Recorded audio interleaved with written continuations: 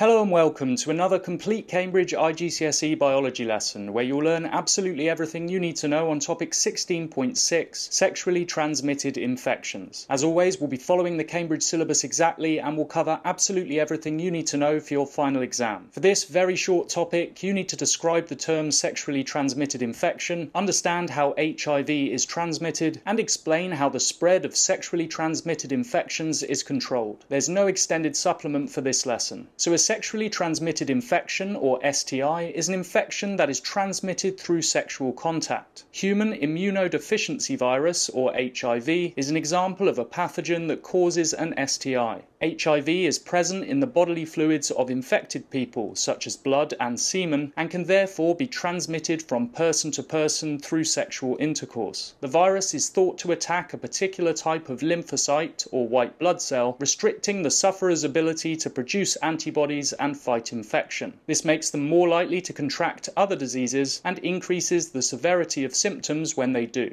Over time, HIV may lead to AIDS, which stands for Acquired Immune Deficiency Syndrome. The immune systems of people with AIDS have been severely damaged by the HIV virus, leaving them highly vulnerable to other pathogens. This means that even a relatively benign illness like the common cold can be extremely serious and in some cases may even result in death. The primary modes of HIV transmission include unprotected sexual intercourse with an infected partner, sharing contaminated needles or syringes during drug use, and receiving contaminated blood transfusions or organ transplants. HIV may also be passed from mother to fetus through the placenta during pregnancy and from mother to baby via breast milk. It's important to note that HIV cannot be transmitted by mosquitoes or other insects or through casual contact like shaking hands or sharing utensils. Fortunately, there are several preventative measures that can significantly reduce the spread of sexually transmitted infections. Individuals can use condoms which act as a barrier against pathogens, limit the number of sexual partners they have, and get tested for STIs following unprotected sex. Regular testing allows individuals to make informed decisions regarding regarding their sexual activities, choice of partner, and the adoption of necessary precautions. Those who test positive for an STI should seek medical treatment immediately and abstain from sexual intercourse until the infection has been eradicated. Other preventative measures include using sterile needles and avoiding the sharing of drug paraphernalia, promoting comprehensive sex education, and taking precautions during childbirth and breastfeeding, particularly if the mother is diagnosed with HIV.